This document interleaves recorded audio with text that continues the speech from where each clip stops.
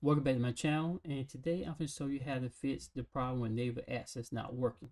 Now if you have been trying to get into native access and you've been trying like all the stops and everything that doesn't work, you know, from downloading and installing, reinstalling. No, this is the way I found that works for me because I had a problem and this is how I fixed it. Now this is how you fix the native access problem. You want to go into your applications and features You're going to scroll all the way down to set in application features. You want to go all the way down to set native instruments and you want to uninstall native instruments. That's uninstall it. After uninstall it, you're going to come into, you know, your main drive, your C drive that's on your laptop or your desktop. You go down to there. Come to program files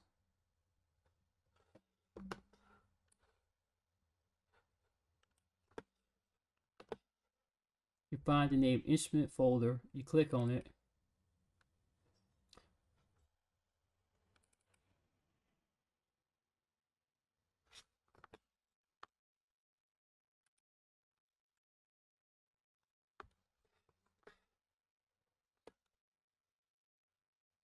You come to the native instrument folder, right click on it, then you just delete it. And once you delete the native instrument folder, you go to the native instrument website. You click on Mac or Windows, whatever software is on, download native access. Click on the download tab, show the folder, and here native access right here. On extract it. Now come on up here and double click on native access. From here, there's kit nets, know, the basic setup.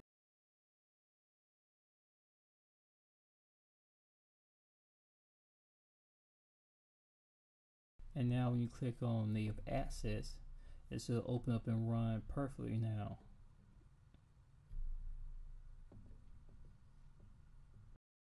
you can see now you can hit the update button and now it will update itself.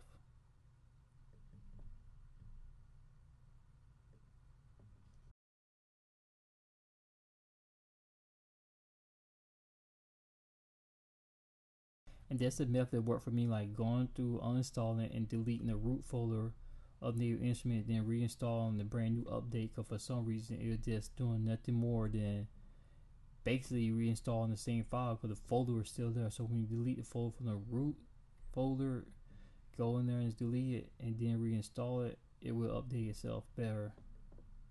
Then all have to do is re-sign into it.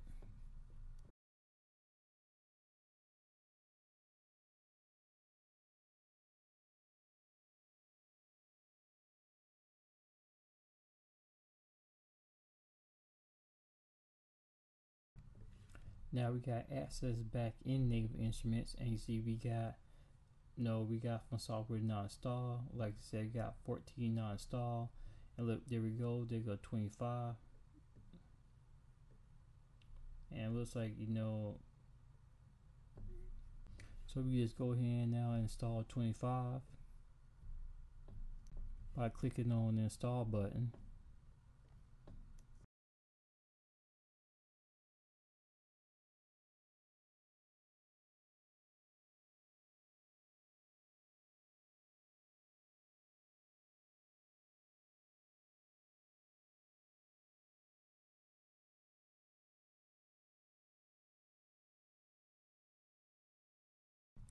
See now it's installed successfully. We now have 25 installed on the computer and we also have native access updated. Okay, now I see we have, you know, 25 is now ready. So now you can go into, now you go into native access. Now you come down here and click install access. Now you come down here and click install access. Now you come down access. Now you come down here and click install. Down here and click install access. Now you come down down here and click install access. Now you come down all down here and click install access. Now you come down all down here and click install access. Now you come down down here and click install access. Now you come down down here and click install down here and click install access. Now you come down here and click install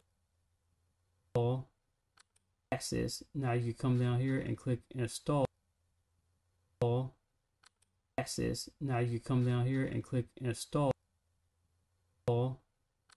access. Now you come down here and click install down here and click install access. Now you come down down here and click install access. Now you come down. Now you go into native access. Now you come down. Now you go into native down here and click install access. Now you come down. Now you go into native access. Now that it's installed.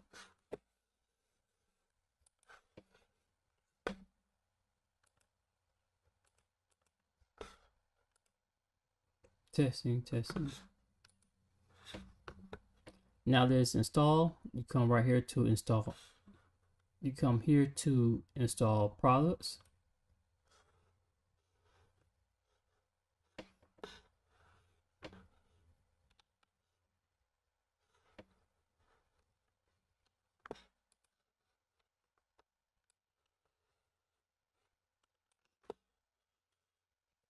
And there, now you have it.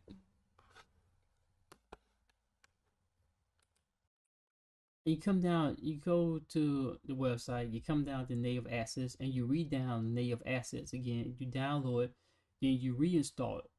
So what I come to figure out the problem why it's not working is because that folder that's in there, the native access folder, even though you uninstall it or you download it, it doesn't overwrite the original native instrument file that's there. The original native access that's there, it doesn't get overwritten. So you have to really delete that native access folder. When you go into your folder, native instruments, you go to native access, that delete the assets folder itself. Then download it, then reinstall it. And once you reinstall it, it opens up and then it works. Because I tried all the other methods that they talked about. It doesn't work. It didn't work for me. So what I just did was just delete that native access folder after you uninstall it. So just probably uninstall it or you probably delete folder. But I just say on safe side, just go ahead and uninstall it. Then go into your main hard drive, your C drive, go into the native instrument folder, find native access, delete it, and download a brand new program, a brand new native access from the website, whether you're on Mac or Windows, download a brand new one directly from the website, then install it, and then it works. Because that's how I got mine to work. So if you can see for yourself in the video. So thanks for watching. Please comment, like, and subscribe. Instead of the video, and anybody else who have problem with native instrument access, anybody anybody else who's having problem with native access, please share this video so they could resolve their problems. Because for me, this worked way better. I had my problems and didn't work for me, but this worked for me. So share the video, like the video, leave a comment, and subscribe to the channel for more.